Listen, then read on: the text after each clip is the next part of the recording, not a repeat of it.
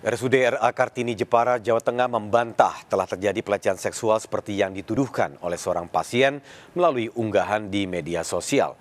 Menurut hasil investigasi internal, pihak RSUD RA Kartini tidak menemukan pelecehan seksual seperti yang ditudingkan.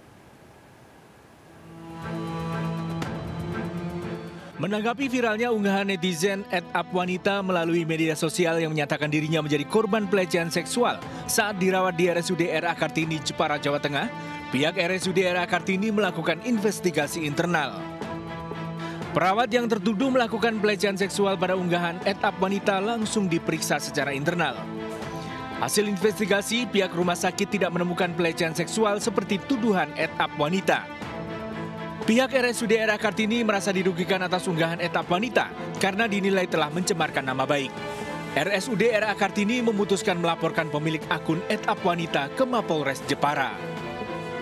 Itu itu ternyata tidak benar merupakan hoax. Tapi nama baik kami sudah sejak klik itu sejak sejak di upload ya itu sudah benar-benar tercemar sekali lagi itu sesuatu yang kecil.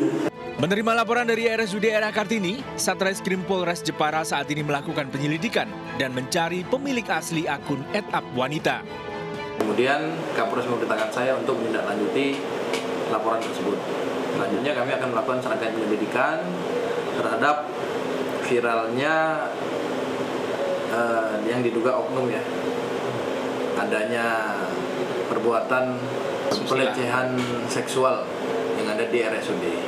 Sebelumnya, unggahan etap wanita viral dan mendapat komentar ribuan warganet, termasuk Komnas Perempuan. Unggahan berisi narasi etap wanita menjadi korban pelecehan seksual yang dilakukan oleh salah satu perawat RSUD RA Kartini Jepara. Dari Jepara, Jawa Tengah, Alip Sutarto, iNews, melaporkan.